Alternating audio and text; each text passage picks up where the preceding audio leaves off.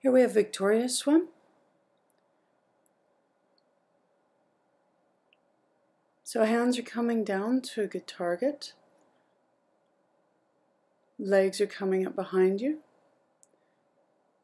So we want to slightly change this and get the hands down a little bit more and the eyes looking down. That's going to help get those legs up just a little bit more.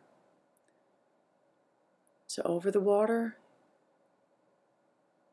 you have a high elbow, low hand entry. So this is a good starting position here.